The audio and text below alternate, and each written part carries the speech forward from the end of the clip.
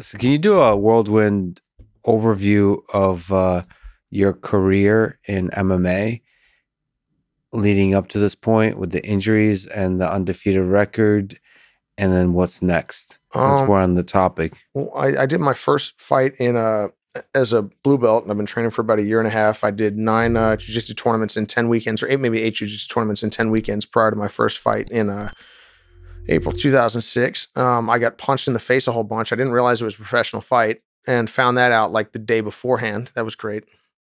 Thanks, coach. Uh, it was in Atlantic City, where another place no one ever goes on purpose, so that wasn't great. I got into three, actually three car accidents in the preceding 36 hours before the fight. I had my car totaled.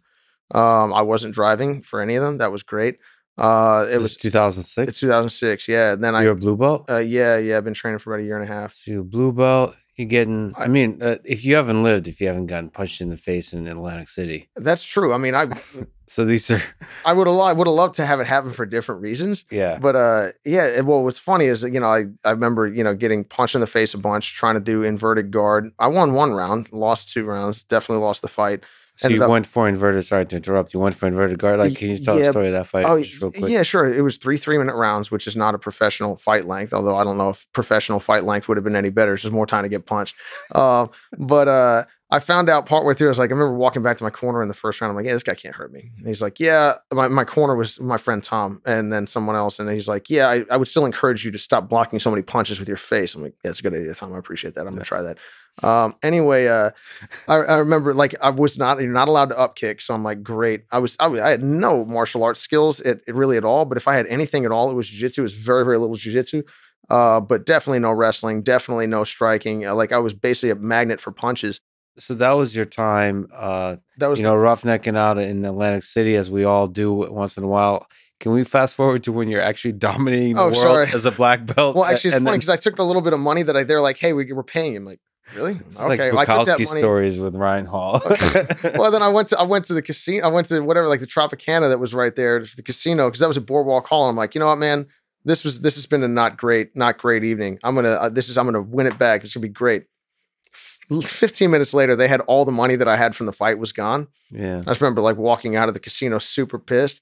And I like I don't know what I was thinking. Like I'm not good at gambling. Why this was not going to make my night better. I just thought that there was going to be some sort of cosmic balancing, and maybe it was the cosmic balancing all at once for things I'd done in the Longer past. term, though, Yeah, that the the balancing.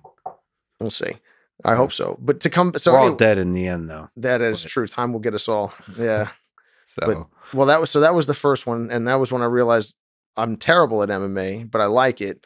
I should just stop this until I one day learn how to actually grapple, Mm-hmm. much less learn how to fight. But I remember there's this guy named Dave Kaplan, who's the reason my ears are all messed up, who was uh, on the Ultimate Fighter and got punched in the face and knocked out by Tom Lawlor, who I'll always appreciate for doing that. Um, but uh, anyway, uh, Dave or Tom? Uh, I appreciate Tom. I appreciate Dave too. Dave, Dave was great. Dave was just a huge bully and used to like, rather not completely unmercifully, but relatively unmercifully beat the crap out of me. And uh, anyway, Well, um, the ears look good, So I appreciate that. I tell people it's a tumor that I got, and I'm gonna if they want in on a class action lawsuit with AT and T, they should you know send send me an email. But uh, anyway, well, you're very financially savvy. I- I- Very good. no, I, I just give the impression. Dave basically said, "Hey, don't worry, man. You're never going to be good at MMA, and you're never going to be good at grappling either. But even if you are good at grappling, which in my opinion you will never be, Yeah. you will never be good at fighting." And I said, "Dave, if I do nothing else in my life, I'm going to keep training until I can make you pay for that." And now that I can make him pay for that really easily, he doesn't train anymore. But I love Dave. Dave's awesome. He actually won the singing bee. What an interesting dude. Yeah. Super interesting guy. But anyway, Jersey uh, guy? uh, no, no, no. Uh, Virginia, like speaks a couple languages. Super interesting guy. Like shockingly good at Jeopardy too. Hmm. Um, yeah, not that I'm any good, but still shockingly good at Jeopardy.